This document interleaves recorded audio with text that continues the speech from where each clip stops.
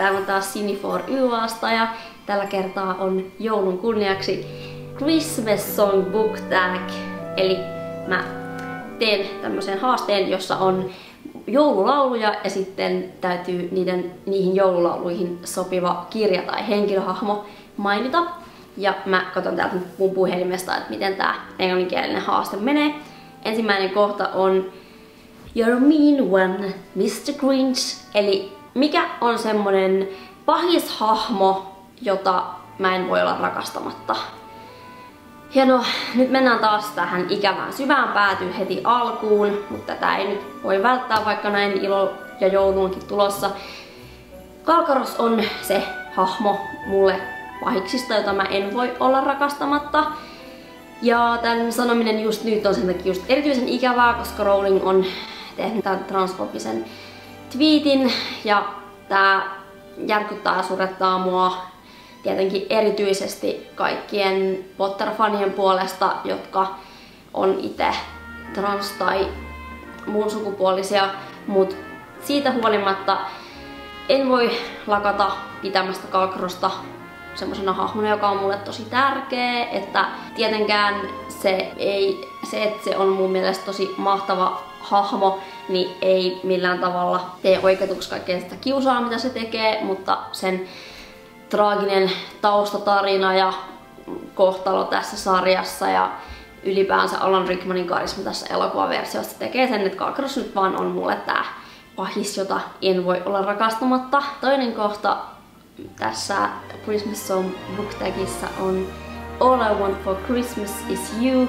eli mikä kirjan haluaisi kaikkein mieluiten sinne lahjapakettiin tänä jouluna saa löytää sieltä kuusen alta? Ja se joululahjakirja, mitä mä nyt ehkä tällä hetkellä eniten haluaisin, on Holbornen All the Places I've play, uh, Cried in Public, koska mä hypistelin tätä kirjaa kirjamessuilla, siinä oli tosi nätti kansi, mä oon lukenut kaikki muut Holbornet, mutta sitten kun mä vikana päivänä, kun mä tein kirjaostoksia, niin kattelin taas sitä hyllyä, niin ne oli kaikki kirjat hävinnyt, mä en pystynyt hankkimaan sitä, eli nyt mun Holy tietämyksessäni on aukko. Sitten kolmos kohta on Rudolph Red-Nosed Reindeer, eli Petteri Punakuono.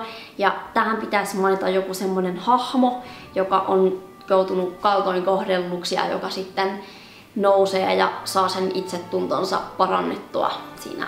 Mä ensin rupesin miettimään semmosia rohkeita tyttöhahmoja, kuten Star tosta Viha, jonka kylvät ja sitten toi Sadie, jonka mä just samassa luin tässä just mutta sitten kuitenkin tuli siihen tulokseen, että ehkä tähän Petteri Punapuono kontekstiin sopii paremmin semmonen suomentamaton kirja, jonka mä luin tässä syksyllä, kuin Jennifer Donnellin Stepsister, joka on siis tämmönen YA-kirja tuhkimon sisarpuolista. Ja sitten tässä on tosiaan näen tämän NS toisen ruman sisarpuoren tarina ja se lähtee just liikkeelle siitä tilanteesta, missä Tuhkimo on päässyt sinne prinssin puolisoksi. Ja kaikki vihaa näitä sisarpuolia ja niille heitetään välillä kananmunilla ja sitten siitä, miten se siitä lähtee sitten nousemaan ja joutuu itse tutkiskelemaan tätä sen omaan menneisyyttä, kun se on kiusannut itsestä tuhkimoja ja nyt joutunut itse kiusatuksi ja sitten löytää itsestään feministisen sankarittaren. Ja tää ehkä mun mielestä kyllä nyt toistaa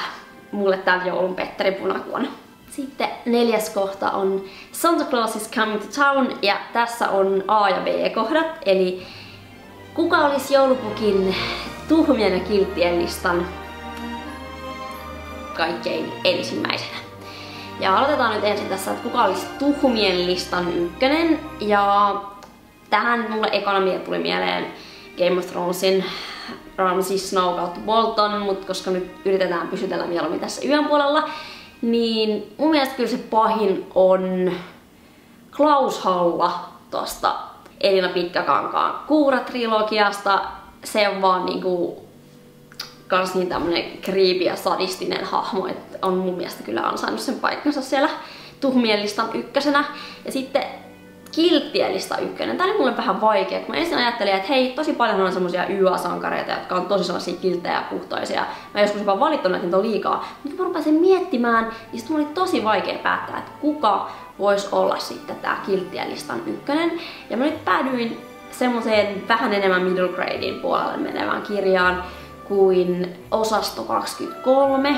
Ja tämä osaston 23 Stiina päähenkilö, keuhkotautinen köyhä lapsi, joka silti ajattelee niin paljon omia perheenjäseniään ja sisaruksiaan ja on, pystyy ajattelemaan jopa niiden rikkaiden näkökulmasta, jotka käytännössä riistää sitä, että et mä sanoisin, että Stiina on kyllä nyt ansainnut sen paikkansa kilttien listan ensimmäisenä. Sitten viides laulu on Frosted the Snowman, eli Hei kuuraparta, näin suomeksi. Ja tähän äh, Frosted the Snowmanin piti siis sanoa joku semmonen kirja, joka on semmonen, joka sulattaa sydämen.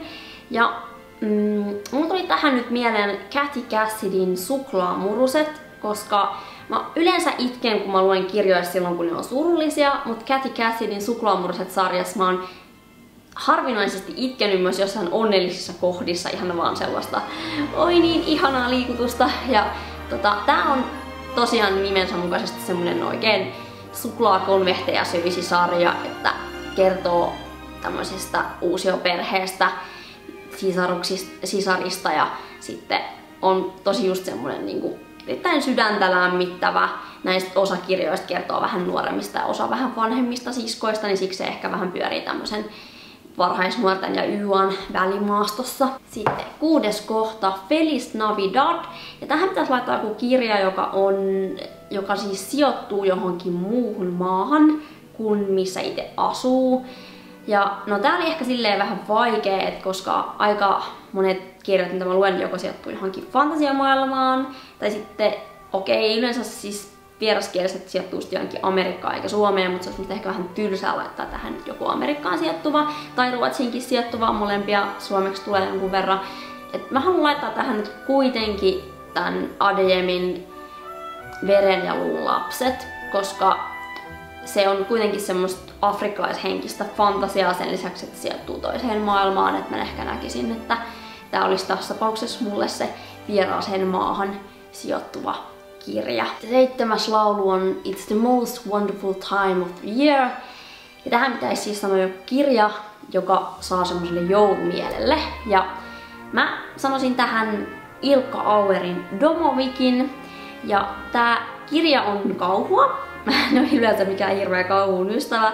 Ja siksi tuntuu ehkä tosi hassulta, että mä valitsen kauhukirjan vielä tämmöisen erillisen joulumielikirjan kohtaan. Mutta tää on tosiaan hyvin joulumielinen kirja, että se sijoittuu tämmöiseen tunnelmalliseen aavekartanoon ja siinä on loppupuolella kirjaa joulu ja se on niinku hyvin jotenkin taianomassa joulukuvaus, mutta tosiaan, koska tässä sitä kauhua on, niin tää ei ole semmonen kirja, joka ehkä jos ihan, ihan kaikki niin kuin AV tuntuu pelottavilta, niin kannattaa ehkä jättää tää kirja välissä tai muuten ei sitten jouluyönä tule ollenkaan nukuttua, vaikka tää onkin sieltä kauhusta lempeämmästä päästä. Sitten kohta kahdeksan Sleigh Ride eli Reki-retki. Et mikä olisi semmonen hahmo, jonka kanssa mä haluaisin viettää hauskaa joulua.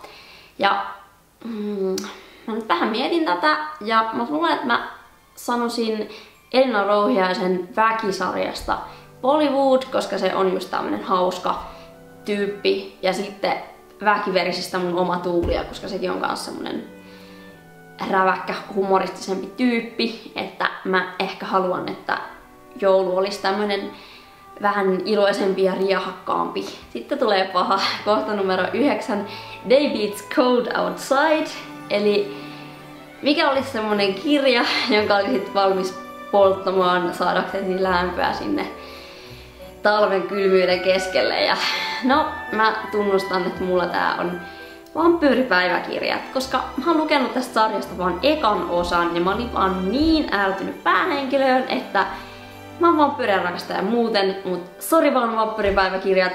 Koko sarja olisi mun mielestä oikein mukavasti palaisi siellä takassa ja lämmittäisi varmasti. Sitten viimeinen kohta, Do you hear what I hear? Ja tää pitäisi olla semmonen kirja, joka kaikkien sun mielestä pitäisi lukea. Ja mä mietin tätä, että varsinkin näin tunnustautuneena korpinkyntänä ja Harry Potter-fanina, niin just nyt tällä hetkellä mä oon sitä mieltä, että kaikkien pitäisi lukea Riina Mattilan järjestyksiä, joka on tämmönen rakkaustarina mun sukupuolisesta päähenkilöstä. Että koska mä toivon, että sellaisia ihmisiä kuin Rowling, jotka ei ymmärrä, niin olisi tässä maailmassa nyt vähemmän, niin mä toivoisin, että kaikki lukis tämän kirjan. Ja ikävä, että tässä oli nyt vähän tämmöisiä särönuottejakin tässä iloisessa joulutunnelmassa, mutta mä toivon teille kaikille oikein ilosta ja rauhallista joulua täältä For YAn puolesta. Ja nähdään sitten keväällä taas uusissa videoissa. Me aloitetaan silloin sillä tavalla, että mä teen ensinnäkin YA-uutiset keväältä ja sitten tehdään Elinan kanssa myös katsa, tämmönen katsaus vuodesta 2019, että miten se oikein meni ja mitäs me tykättiin. Eli hyvää joulua ja rauhallista uutta vuotta. Moi!